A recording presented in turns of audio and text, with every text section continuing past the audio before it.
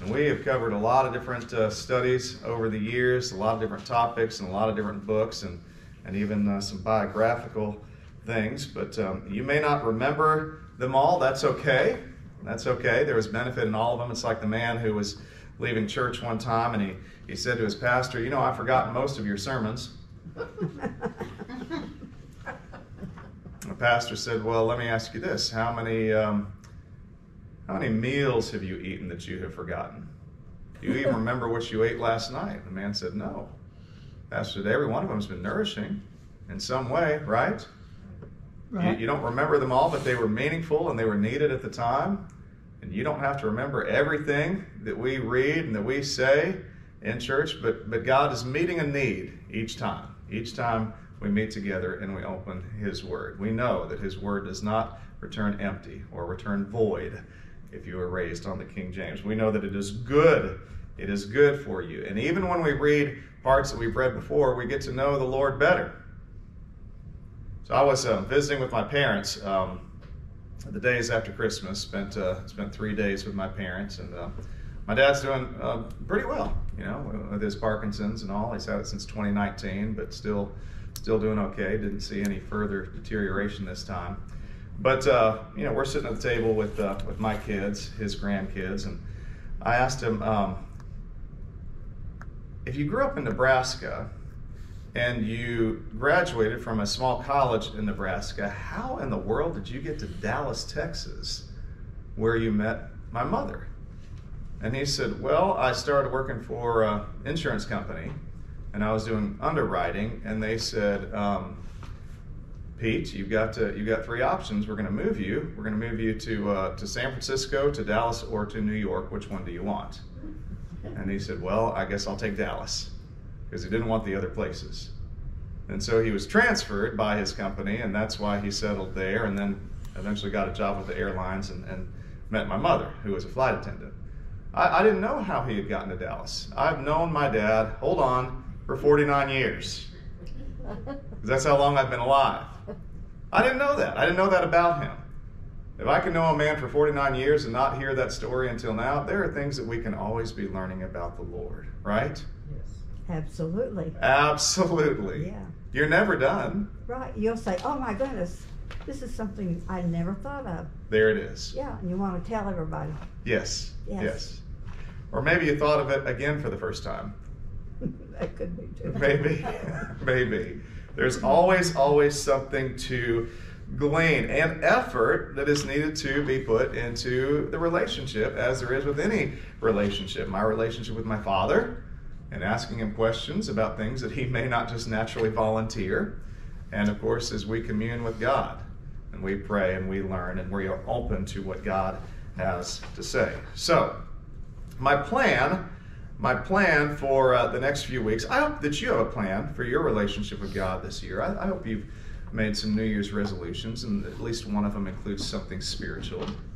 I hope that you're still intentional and you're making an effort in your relationship with the Lord. I know it's this time of year, a lot of people decide they're going to tackle a one year Bible reading plan. You know, we offered that a, a few years ago, and more than 30 people, you know, went through it together. Um, I'm not doing a one year plan this year. I'm in the middle of my own plan. Uh, every day I read either two chapters from the Old Testament or one from the Old and one from the New. I alternate. And that way I will get through the Bible in about a year and a half. Okay, a little bit longer, but that just keeps me uh, interested in what I'm reading instead of trying to plow straight through.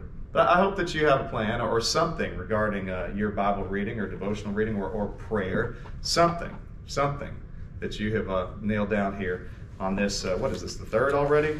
January 3rd? Yeah, yeah. Some kind of creative Bible study or, or being more involved perhaps than you have been in the past.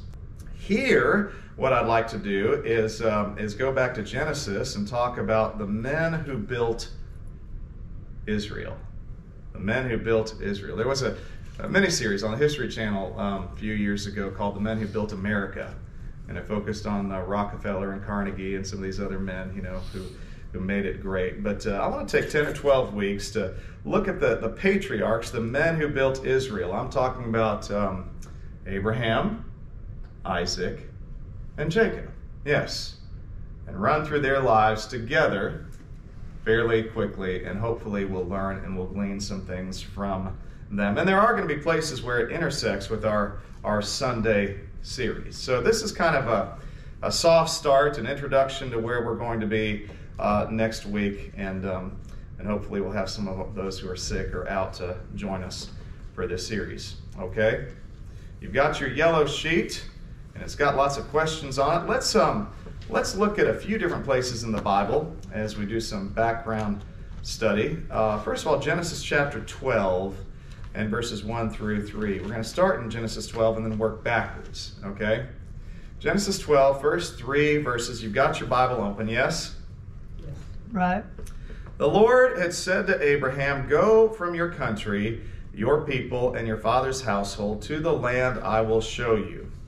I will make you into a great nation, and I will bless you. I will make your name great, and you will be a blessing.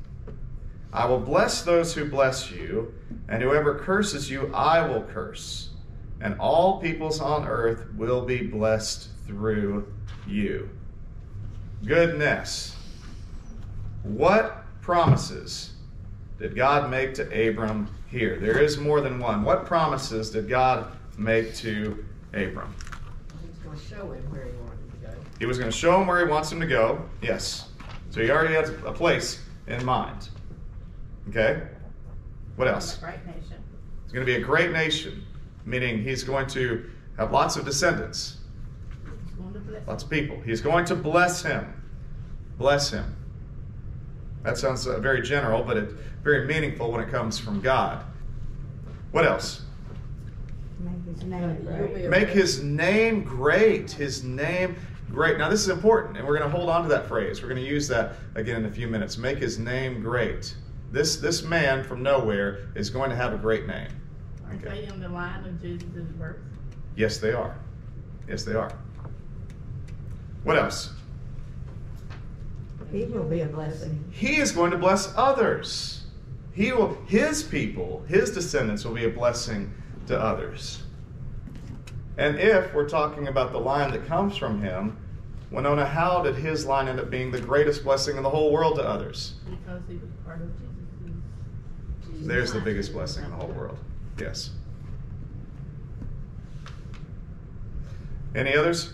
Any other promises? that he would, God would bless those that blessed him and curse those that cursed him. Yes. And at the end of this, not only will you be a blessing, but to whom? At the end of that verse 3. Those who bless people on you. earth. I mean, this is a widespread. Widespread.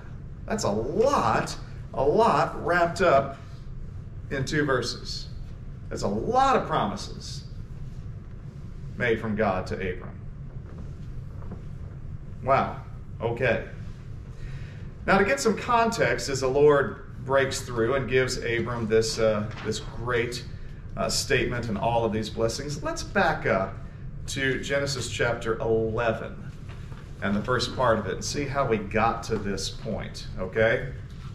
Genesis 11 and the first nine verses are about the Tower of Babel. The Tower of Babel. Let's read these verses and let's see how well you remember um, this story. Now, the whole world had one language and a common speech. As the people moved eastward, they found a plain in Shinar and settled there. They said to each other, Come, let's make bricks and bake them thoroughly. They used brick instead of stone and tar for mortar. Then they said, Come, let us build ourselves a city with a tower that reaches to the heavens, so that we may make a name for ourselves, Lida, so that we may make a name for ourselves. Otherwise, we will be scattered over the face of the whole earth. But the Lord came down to see the city and the tower the people were building. The Lord said, If as one people speaking the same language they have begun to do this, then nothing they plan to do will be impossible for them. Come, let us go down and confuse their language so they will not understand each other. So, the Lord scattered them from there all over the earth, and they stopped building the city. That is why it was called Babel, because there the Lord confused the language of the whole world, From there, the Lord scattered them over the face of the whole earth. There are several places here where we see the human plan versus the Lord's plan. And I want you to see the contrast here, how different these things are. The human plan versus the Lord's plan. The human plan, they say, what? Come, let us do what? Build ourselves. Come, let us build a tower. Come, let us build a tower that reaches to the heavens. We're going to do it. Yes, come, let us do that. But then in verse 7, you've got another come, let us, and this comes from the divine source. What was the Lord's plan? Confuse their language and scatter them. confuse their language and scatter them. Confuse their language. The people say, let's get together and do this thing. The Lord said, let's get together and do this thing. And who is the us, I wonder, in verse 7? Trinity. You could read the Trinity into that and be right. Mhm. Absolutely. Absolutely. In, in heaven's theater, when we get to sit down and actually watch all these events, you know, in history, as I hope that we can. Okay, it's not guaranteed, but I hope hope we get to see these The events theater. someday. Yes, Stadium seating. maybe, maybe yes, on the jumbotron. I would love to be able to see this, and especially that moment, that moment where all of a sudden Nobody can talk. they can't understand each other. That moment must have been precious. it all breaks down It breaks down. Communication. in a second. So, what was the human plan in verse 4 regarding their glory? Lida, what was the human plan? To make a name for themselves. They want to make a name for themselves. We just read that in uh, the promise to Abram, remember? God's going to make Abram's name great. Here we have this idea we're going to make a name for ourselves. People are still doing that. Oh my goodness, it seems like nearly everybody wants to be famous. Why? Pride. They want to make a name. Why would God have a problem with this? Pardon? Takes away from him. And his, Well, his takes away from his. glory. Who's supposed to receive all the glory, all the credit, all the honor? God So when they say we're going to make a name for ourselves, what if they are stealing from God. They're stealing from God. He's not going to share his book. He's not. He will not. Right. Never. Never ever. Mm-mm. Nope. What was the Lord's plan regarding his glory back in Genesis 12 and 2? What was he going to do? Through Adam, to Abraham. He chose someone else to give a name to. He chose someone else to work through. The people don't get to make the decisions. God is going to guide history. Okay, what what was the Lord's plan back in Genesis 9 and verse 7 regarding his uh, what he was going to do with people. Genesis 9 and verse 7, God says to Noah, As for you, be fruitful and increase in number, multiply on the earth and increase upon it. And then Genesis uh, 11, back in the Tower of Babel, end of verse 9, the Lord scattered them over the face of the whole earth. What was God's plan for people? Spread them out, scatter them. He wanted them to disperse, fill the earth, subdue it. But what was the human plan here in chapter 11? What did they say? Verses 1 and 2, and then especially verse 4. End of verse 4. Making a name for themselves again. Look at the end of verse 4, the very end. God wants to scatter them. What do they want to do? All stay together. They want to stay in one place. They resist it. God had said to Noah, increase, spread out. The people all gather in one place, big lump. They want to make a name for themselves. And they say, We will resist scattering. We don't want to scatter. God says, You're going to scatter. They say, We don't want to scatter. Who's going to win this one? God. So, in these ideas here, the human plans, we're going to be, no, you're not going to. We're going to have glory. No, you're not going to. We're going to be stay still, right? No, I'm going to scatter. What conclusions can we draw about our human plans versus the Lord's plan? We fall short. God's gonna win. God's going to have his way. God's going to have his way. Even when the people are determined, even when the people are unified. If they are wrong and they are resisting his will, who is going to win? That is hard. God is going to win. Surely that's got to apply to your life in some ways. Go out. Do you need to make a quick review of your life right now and think about all your plans along the way and how those worked out? Especially at those times, hold on, when they were contrary to God's will? Now, really. Sorry, I didn't mean to step on your toes there. Well, and you know, even the great disbursement, uh, once the Jewish people that did believe that was the Messiah, didn't, wasn't that another, yet another disbursement going, scattering? Because they all, a lot of them had to leave. Mm-hmm. Yeah. And all along the way, God had his way with them. Yeah. We, God- we sort of do the same thing, because we like our fellowship and not necessarily bringing Oh, resistant to evangelism, you're saying? sometimes. Oh, okay. Us four and no more. Holy huddle. Oh, okay, okay. That that feels like it could get real personal, Nancy. I wasn't talking about me. Oh, okay, okay, okay, okay. Good. Other people have specks in their eyes. Yeah. Boy, we can see them clearly. God's plan. God's plan. This is important, okay, as we get into these, these men. And this God's plan was to scatter people all over the earth and then build his people out of one family. Okay?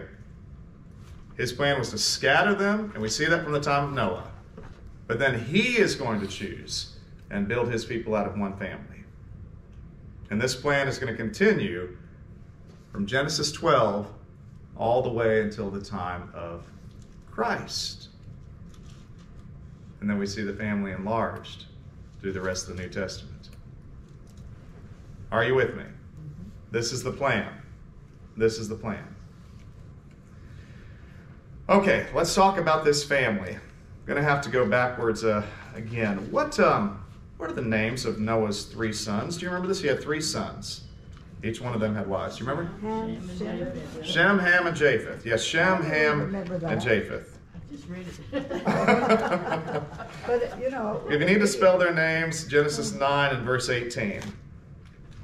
You can Shem, Ham, and Japheth. Three sons. And everybody then comes from these three sons. And years and years ago, we did a study on Noah, and we said each one of these sons and their families went different directions. And we even asked the question, who are we related to? Because Ham goes down to Africa, and Japheth ends up his family over towards Europe, and then Shem is right there in the Middle East. And we said, which son then are we related to? And we're going back uh, now seven or eight years, okay? Through these sons and where they go, we can trace basically all the lines of people who have uh, uh, propagated through the entire world. Yeah. yeah.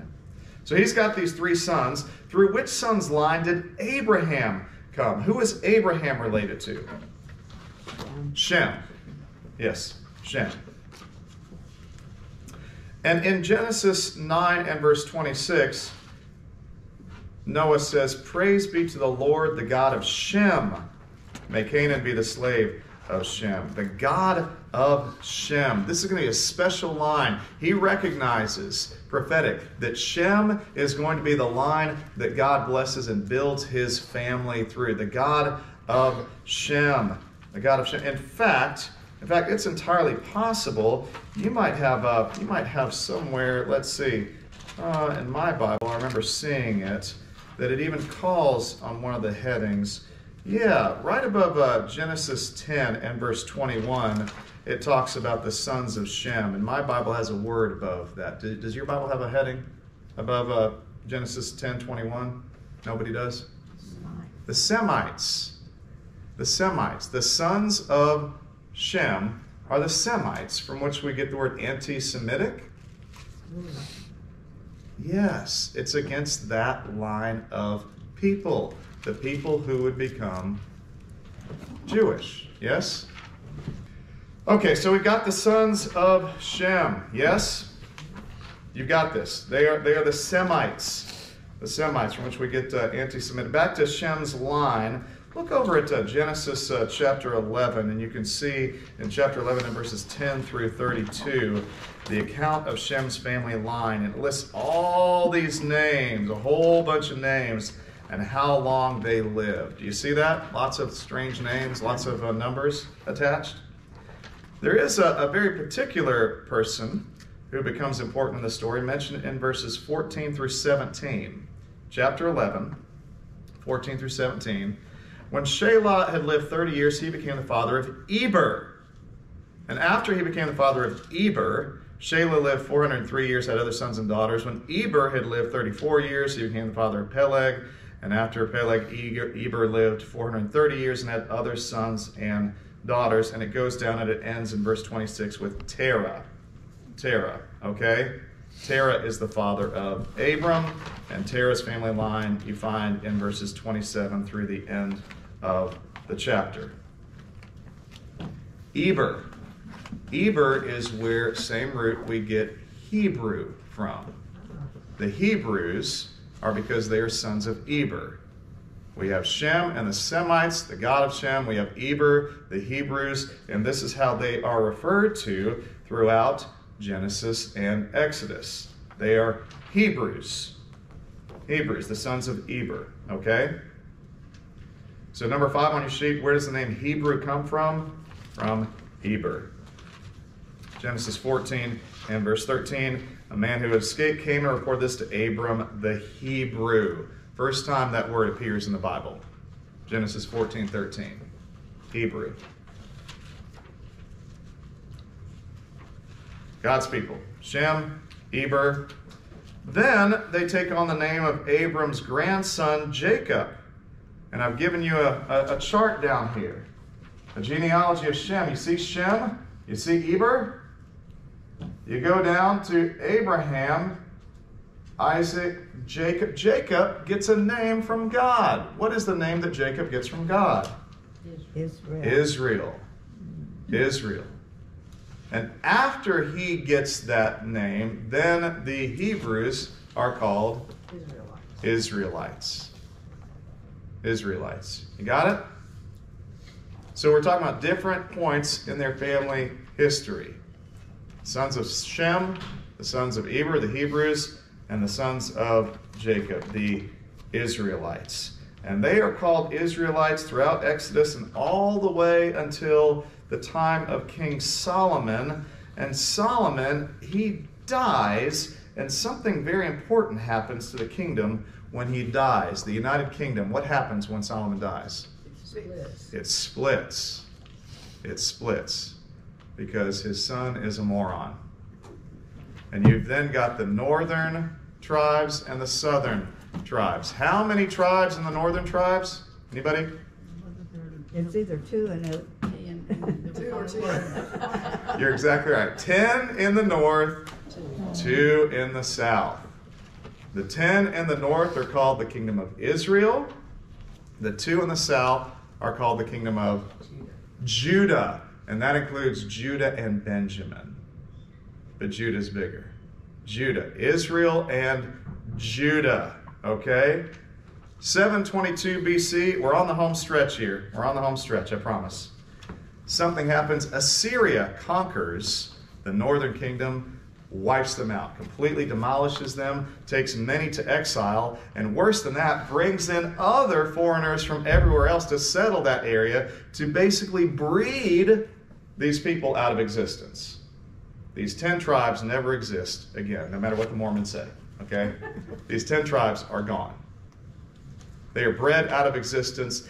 And then in that area, then, this kind of half breed grows up where they've got a little Jewishness, but a whole lot of other paganism. And then Jesus calls them, because they live in the region of Samaria, they are the Samaritans. Samaritans. Yes.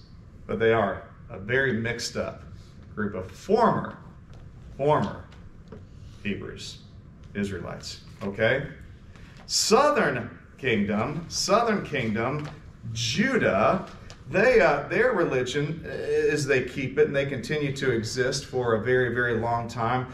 Judah, uh, Judahites, the sons of Judah, they practice Judaism. We then call them Jews. We call them Jews because they are from the southern kingdom of Judah. So on your sheet, the names of God's people in chronological order sons of Shem, Semites,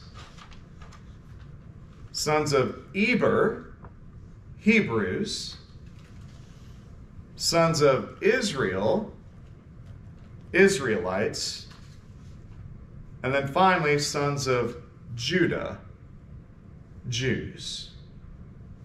And that word Jews then sticks and it continues from the time of Ezra and Nehemiah all the way through to the New Testament. Jesus Christ hanging on the cross. They put the sign above his head, King of the Jews. Because this is his line. What's that? Shem's people? What'd you? Shem's people are the. Semites. Semites. So, you see there four names. We may use them interchangeably.